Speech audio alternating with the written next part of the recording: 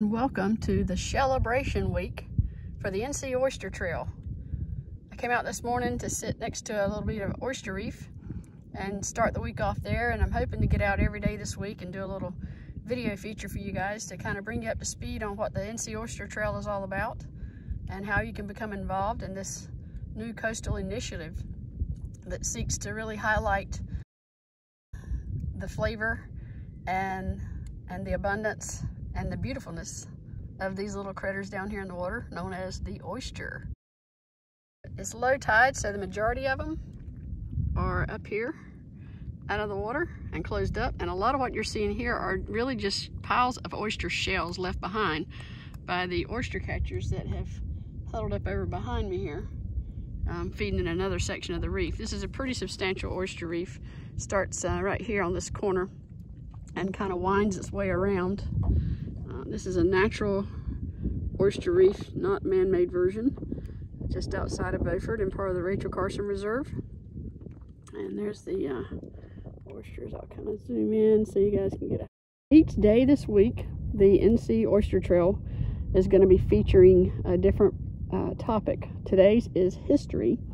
And so with that in mind, I brought out a little visual aid to kind of give you something to look for on your bookshelves or your Kindle shelves or wherever you get your books these days. It's called The Big Oyster, History on the Half Shell. And it's uh, written by Mark Kurlansky. He is, um, he's an author who tends to merge uh, science and um, history together. He's the one that wrote The History of Salt, which talks about how a lot of the exploration of, of um, North America was following different types of uh, salt trails throughout the country. Uh, he does this one through Manhattan up in New York, hence the name History on the Half Shell and the Big Oyster title instead of the Big Apple.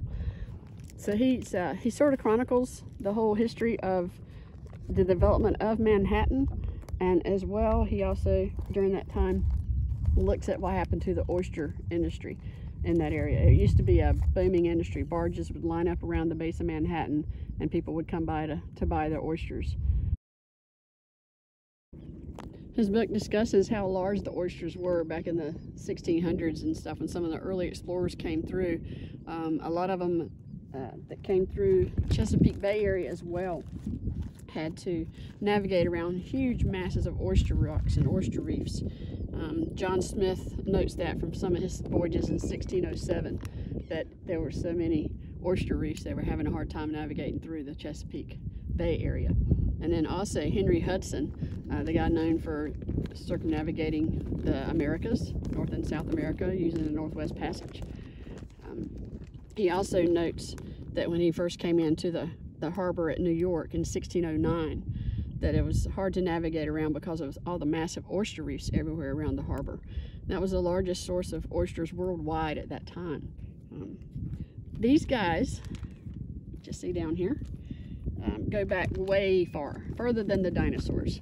Some of the first fossil record we have of oyster shells goes back to 520 million years ago. That's during the Cambrian time period of the Paleozoic era. So these guys preceded dinosaurs. There was a major extinction event during the Permian period about 250 million years ago. And that was before dinosaurs, before mammals and all that sort of thing evolved. And there was a lot of shakeup in the marine life. The oysters actually survived that mass extinction and came back and actually flourished. They were bigger, they were more plentiful.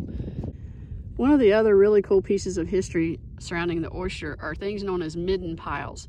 Midden piles are um, areas that where people were settled and they would dump the bones or the shells of whatever it was that they ate. And a lot of archaeologists like to dig through midden piles and do cores through midden piles just to look at the primary diet of our ancestors, you know, what they were actually living off of and what types of nutrients dominated their diet. So they go into these midden piles and this kind of looks like what a midden pile would be, but this would be an oyster, oyster catcher midden pile because these are shells left by them after they're through dabbing into all the little live ones down here. And that's that's one of the things they've looked at to see sizes of the shells, how they changed, um, the composition in the shells and how that has changed over time. So it gives them a lot of really good research about the past of a time that we were not around to, to understand these things. So I hope that you'll join me the rest of the week as we continue to explore the North Carolina Oyster Trail initiative and look more deeply into the ecology, and culture and economy of these wonderful, marvelous bivalves.